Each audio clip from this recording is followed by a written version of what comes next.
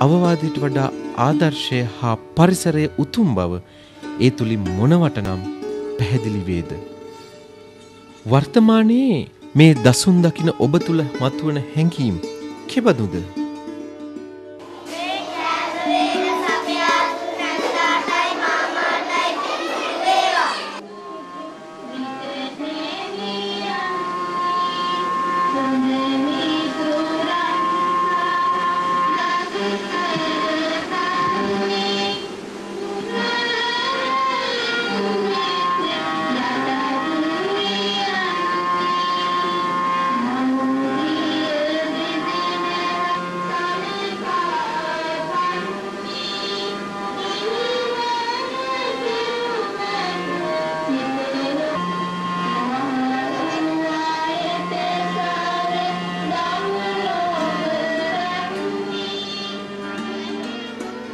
කිළුලල් වයසේ මේ දඟකාර පැටවුන් තුළින් දිස්වන විනය හා ශික්ෂණය ඉතා පහසුවෙන් හා ලෙහෙසියෙන් ඇති කළ හැකිද.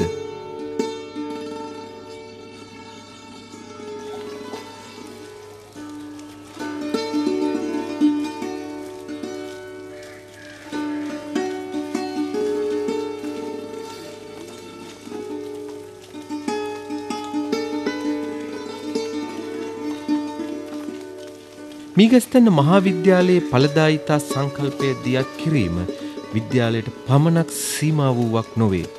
ඒ පිළිබඳව විදුහල්පති කුලරත්න මහතා කරුණු ගෙන හැර දක්වන්නේ මෙසේය. එතරම අපි ළඟ තියෙනවා මේ පුබුදු ඇගීම් සටහන කියලා. පුබුදු ඇගීම් සටහන යටතේ අපි කරේ හැම නිවසක්ම නිර්ණායක 10ක් ඔස්සේ ඇගීමට ලක් කිරීම. ඒ ඇගීමට ලක් කිරීම තුළ ගම්මානයේ 90ක් විතරම ළමයින්ගේ නිවෙස් මේ පයිස් වැඩසටහන යටතේ සකස් වුණා. එහෙම සකස් වුණු නිවෙස් සම්පූර්ණ නිවෙස් එකම ළමයින්ගේ කාමර මුළු තැන් ගෙවල් විශාල ප්‍රමාණයක් දකින්න පුළුවන්. සීමිත ඉඩකඩකින් ප්‍රයෝජනයක් ගන්නේ කෙසේද කියලා අප පාසලේ 5S වැඩසටහන ක්‍රියාත්මක වන නිසා සිසු දරුදැරියන් තුළ මේ පිළිබඳ හොඳ ආකල්පයක් තියෙනවා. එම නිසා එම සිසු දරුදැරියන් මේ වගේ නිර්මාණයක් කරමු කියලා යෝජනාවක් ඉදිරිපත් කරා. ඒ අනුව තමයි අපි පාසලේ පොලක් පවත්වලා මුදල් සොයාගත්තා. ඒත් එක්කම ප්‍රදේශවාසී සැමගෙනුත් මේ සඳහා මුදල් ආධාර ලැබුණා. ඒ සියල්ල එකතු කරගනිමින් මේ සඳහා දින වකවානු යොදාගෙන සිසු දරුදැරියන් ඒ වගේම අපේ චිත්‍රකලා විෂය භාර ගුරුතුමාත් ඇතුළුව විදුහල්පතිතුමාගේත් මඟ පෙන්වීම යටතේ මෙම කටයුත්ත කළා. එස් පහ සංකල්පයට අනුව සැබවින්ම මෙය මොනතරම් ආදර්ශයට ගත යුතු සංකල්පයක්ද. ගම පාසල ගුරුදෙගුරුන් දරුවන් මේ සියලු දෙනා මේ එක් වී කැපවී ගොඩනගන වපුරන මේ බීජ තුලින් අනාගතයේදී ලබන්නා වූ අස්වැන්න මොන තරම්නම් අපූර්තම ඵලදාවක් වනු ඇද්ද? එය දේශයේ මෙන්ම ජාතියේද සෞභාග්‍යම නොවන්නේද? මේ අධ්‍යාපනය දැනුවත් කිරීම අංශයේ හොඳ සංකල්ප තියෙනවා පරිස් ක්‍රියාවලිය තුළ. මොකද මේ සංකල්පය පිළිබඳව ලැබෙන පත්‍රිකා අතින් ලියලා කට්ටිය අතර බෙදලා කතා බහ කරා. ගුරු රැස්වීමේදී වෙන වෙලාවල්වලදී මේ පිළිබඳව නිල වශයෙන් නිල නොවන වශයෙන් විධිමත් අවිධිමත් ලෙස ඔහොම කතා බහ කරා හැම වෙලාවෙම. සියලු දෙනා සම දැනුමකට ආවා. ඒ අයගෙන් අදහස් අරගෙන පාසල තුල සියලු දෙනාගේ පුංචි පුංචි වැඩ ක්‍රියාත්මක කරන්න පටන් ගත්තා. එතකොට යාළගෙන් වැඩ විශාල ප්‍රමාණයක් නිම වෙන තැනක් බවට පත් වුණා. ඒකම හොඳ මේ මානසික ලක්ෂණ ගොඩක් මිනිස්සු එකතු කරන්න පුළුවන්. බොහොම නිර්මාණාත්මක දේවල් ඉස්සරහට ගන්න පුළුවන්.